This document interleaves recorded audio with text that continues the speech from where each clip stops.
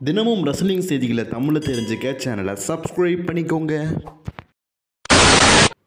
எதிரிக்கு கூட இந்த ஒரு நிலமை வரக்கூடாதுப்பா. ஏன் இந்த வார்த்தையை சொல்கிறாங்க ரேமன் ஸ்டுடியோக்காக சொல்கிறாங்க ரேமன் ஸ்டுடியோ பார்த்தீங்கன்னா ஒரு பையன் டாமினி மிஸ்டரி கிட்ட போகும்போது எப்பா எப்பா நான் உன் பிள்ளை தானாப்பா.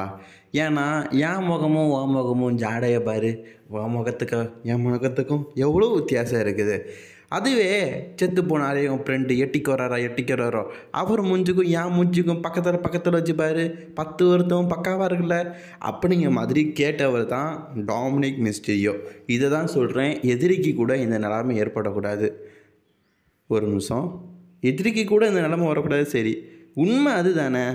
ஏன் எடிக்கிறோட ஃபேஸும் டாமினிக் மிக்ஸ்டரியோட ஃபேஸும் ஒரே மாதிரி இருக்குது? ஸோ ஆக்சுவலி பார்த்தீங்கன்னா ரே மிஸ்டருடைய பையன் டாமினிக் மிஸ்டரியா தான்.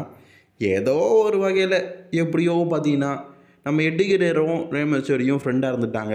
ஒரு காலத்தில் டபிள்யூடிஇ பார்த்தீங்கன்னா இவங்களுக்குள்ள ஸ்டோரி லைனை ஆரம்பிக்கலாம் அப்படின்னு சொல்லிட்டு ரெண்டு பேரையும் ஆரம்பித்தாங்க அதில் ரேமேஸ்டருடைய பையன் என்னோட பையன் தான் அப்படிங்கிற மாதிரி எட்டிகேரரை பார்த்தீங்கன்னா ஒரு காலத்தில் சண்டை போட்டார். அதை வச்சுக்கிட்டு இப்போ வரைக்கும் பார்த்தீங்கன்னா என்னுடைய பையன் என்னோடய அப்பா வந்து எட்டுக்கிறாராக தான் இருக்கும் அப்படின்னு சொல்லிட்டு தான் அப்பா கிட்டேயே கம்ப்ளைண்ட் பண்ணுற ஒரு நபராக பார்த்தீங்கன்னா டாமினிக் மிஸ்டரியோ இருக்கிறாரு. இதை தான் சொல்கிறேன் எதிரிக்கு கூட இந்த நிலமை யாருக்குமே வரக்கூடாதுன்னு. ஆனால் ரே மிஸ்டரியை பொறுத்த வரைக்கும் இதெல்லாம் கேஷுவலாக இருக்கிறவர்.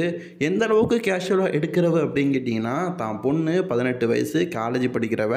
ஸோ இன்னும் பார்த்தீங்கன்னா மேஜர் ஆகலை. பதினெட்டு வயசு கூட ஆகலை.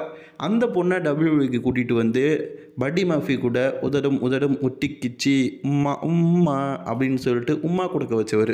ஸோ அப்படிப்பட்டவருக்கு இதெல்லாம் கேஷுவலாக தானே இருக்கும். மோர் வீடியோ சப்ஸ்கிரைப்